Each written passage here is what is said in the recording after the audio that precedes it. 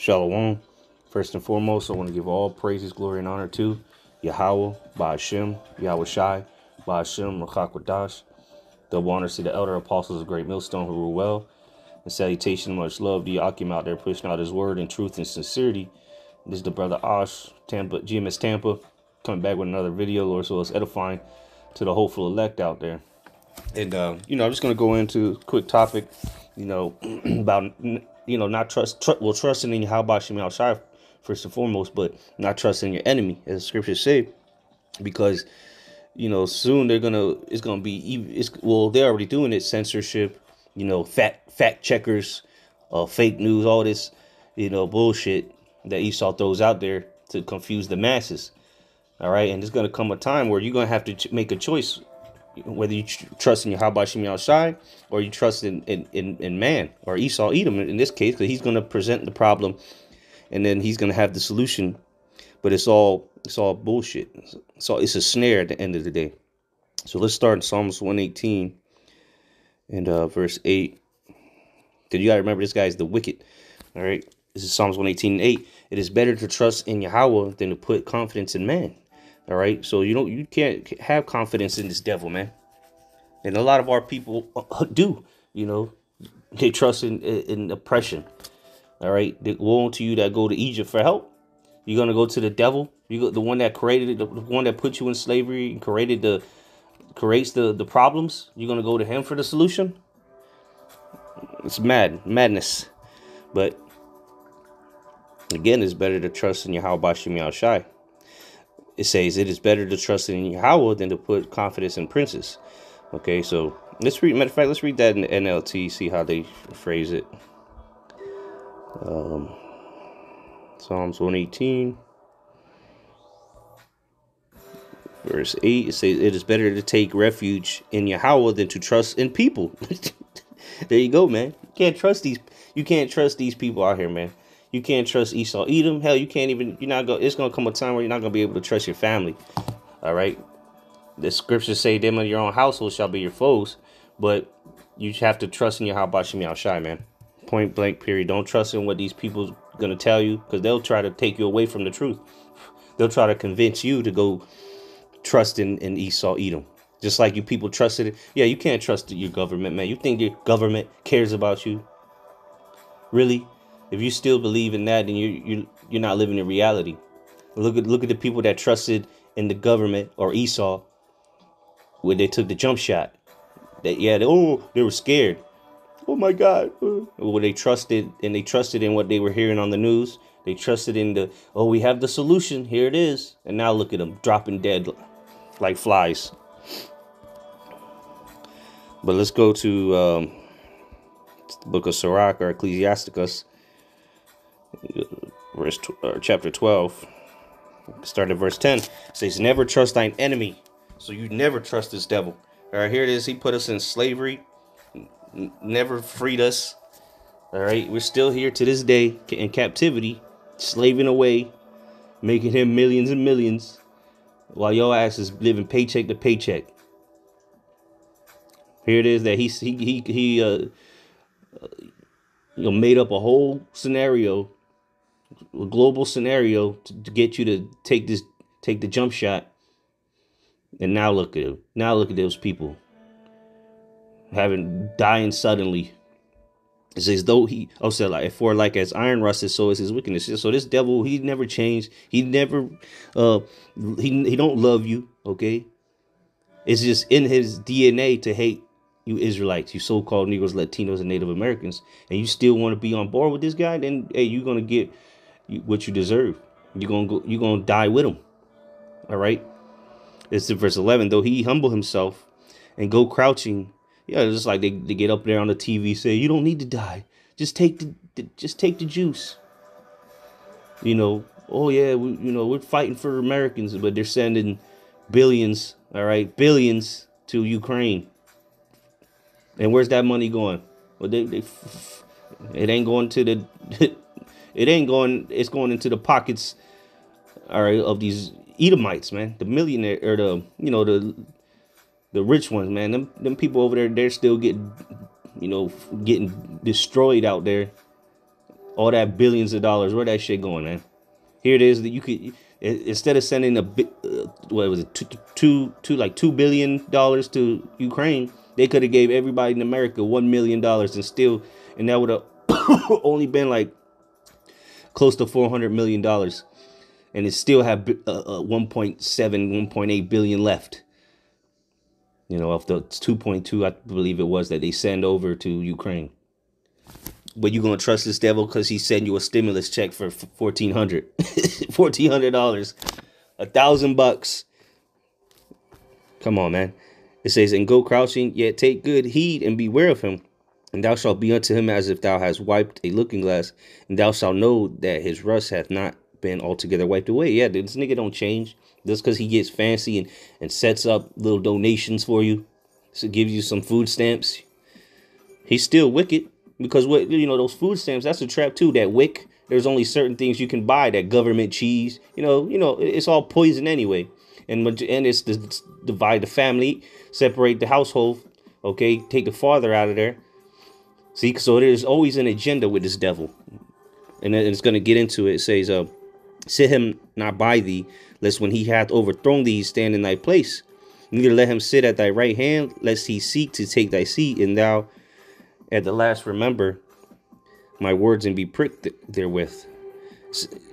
Say, who will pity a charmer that is bitten with a serpent, or any such as come nigh wild wild beast. Yeah, so no one's gonna feel no no one's we're not gonna feel sorry for you if you trust in this devil. I don't feel sorry for anybody that took that jump shot. You gonna you get what you deserve.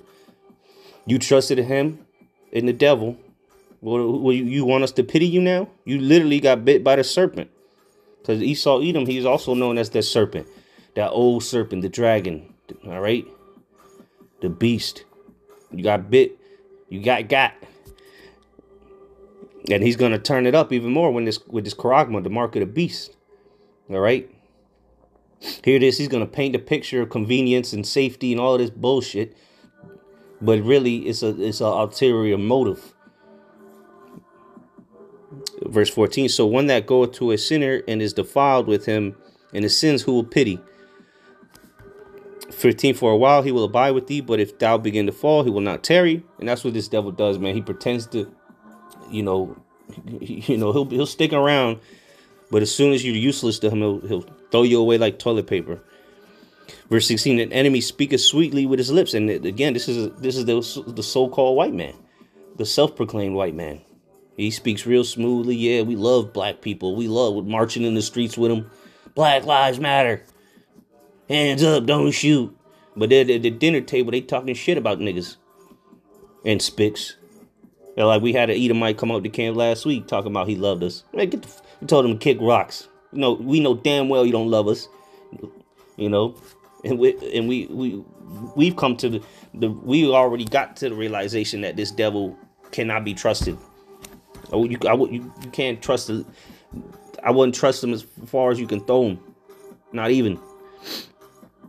His enemy speaketh sweetly with his lips, but in his heart he imagineth how to throw thee into a pit. Yeah, he's, he's talking real smooth with you, buddy, buddy. And in his mind, he's thinking how I'm gonna get this nigga. Or this this Tonto or Spick. How am I gonna get him? What can I get out of him? Using him, using abuse him. That's just it's just in their nature. They're they're the wicked. All right. The Lord made them to be evil. They can't change their ways, man. And they all they all day long they think about is wickedness, man. How to get one over you on you. He said he will weep with his eyes, but if he find opportunity, he will not be satisfied with blood. Yeah, he gonna he gonna say, oh, feel, uh, pretend to be sympathetic or empathetic and then as soon as he get, as soon as he got that little wiggle room or the crack in the door, he, he's going in. He gonna take that opportunity, cause he's already been plotting it, you know, while he was being buddy buddy with you. And then swoop, once opportunity presents itself, he's in there. Verse 17, if adversary come upon thee, thou shalt find him there first. Yep, it was the adversity that came in last recent years. The C19 and he was here. He was there quick. Here we go. Started pumping out that that, that jump shot. The fastest uh, vagination ever to be uh, formulated in the history of, of, of this modern science. No testing, no trial runs, nothing. He was there. Captain Saberhole was on scene. but now we see the, the outcome of that. It says, And though he pretend to help thee, yet shall he undermine thee. So he's trying to overthrow you at the end of the day. He pretending he's not really helping you. He he will shake his hand and clap his hands and whisper much and change his countenance. Yeah. Mm-hmm. There's another one. If he helped thee, um, how does it go? Help. Uh, damn, how's it go? It's like if he helped thee, I think it's in a, a park or Ecclesiasticus as hell. Uh, let's see if we can find it real quick. He, he do it. It's pretty much like he do it unwillingly. So I, I can't remember how it uh how it goes, but um, let me let me let me see something. All right, it's uh, uh this is Ecclesiasticus fourteen and seven. Uh, I'll start at uh, I'll start at five. He that is evil to himself, to whom will he be good? Yeah, and this devil, he's evil to his own people. He hell, he pollutes the air that he has. He pollutes the air to kill niggas and everybody else that the same air he got to breathe. He said, He shall not take pleasure in his goods. There is none worse than he that envieth himself, and this is a recompense of his wickedness. And if he doeth good, he doeth it unwillingly. And at the last, he will declare his wickedness. So when this devil actually does help you, he's doing it unwillingly anyway. Because ultimately, he got an agenda. That's why he's there first when adversity come. He, he's right there, boom, on scene. Got the solution. That's like me setting your house on fire, and then coming to help you put put the put the water, you know, pour water on it. I'm gonna help you put the fire out that I started, and then you, oh yeah, I'm, I'm, I'm with you. That's a snake for you. That's an Esau Edom. Okay, and remember, he's a cunning hunter. He knows how to, you know, that's all he thinks about, man. How to be a be a phony, a put on a facade, so that he can get what he what he's he's hunting. You know, that's why this nigga sits in the trees, smelling like deer piss for 55 five hours, till the deer comes through the woods, and you know. But those that trust in Yahweh Shai are going to be the ones delivered from the hand of the wicked. And that's the only way you're going to be able to get escape what's coming. Because this devil's about to go all out. He's going to show his horns. He's not pretending to help you anymore. He's going to show you the devil that he is. Full-fledged devil mode. So we'll end off on a few more here. Psalms 5 and 11. It says, uh, start at 10. It says, Destroy thou them, O Yahweh Shemal Shai. Let them fall by their own counsels. Yeah, and that's what Esau's laying a snare, but he's going to fall into it. All right, he's going to get snared in his own trap. It says, Cast them out in the multitude of their transgressions, for they have rebelled against thee, and, and our people are going to fall into that snare with them. All right, those that want to be joined hand in hand, well, guess what? The wicked shall not go unpunished. So the Esau Edom. No matter how much you love Master, he's still going to get punished, and you're going to be punished with him for um, rebelling against Yahweh Shai, which is sin of witchcraft, which is worthy of death. All right, verse 11. But let all those that put their trust in thee rejoice let them ever shout for joy because thou defendest them. Let them also that love thy name be joyful in thee. So the ones that put their trust in Yahweh Shai will rejoice because the Lord is going to defend us. All right. In that day of evil, all right, in these times of evil, uh, time of Jacob's trouble that we're going to have to go through to enter into the kingdom of Yahweh Shai, the Lord will protect those that trust in him and not and not go to Egypt for help. For for thou Yahweh will bless the righteous with favor. Wilt thou compass him as with a shield? So the Lord got us. He's our defense. We're not we're not gonna go to Edom, the devil, after we know, you know, all this the wickedness that he does. How we gonna go to him for help? That don't even make sense. Um, so we'll end off on this uh, Psalms 56 and 11 says in, in the most high have I put my trust. I will not be afraid what can what man can do unto me. There we go. What you gonna do, boy? You can't do nothing unto us. We're not afraid of what Esau Edom or any of our wicked ass people can do to us. We're not afraid of that. We trust in Yahweh Shem Yahushai. We know we can be delivered from anything. Through through Yahweh Shem Yahushai, all things are possible. So Lord's willing, this was edifying and exhorting to the hopeful elect out there. Shalom.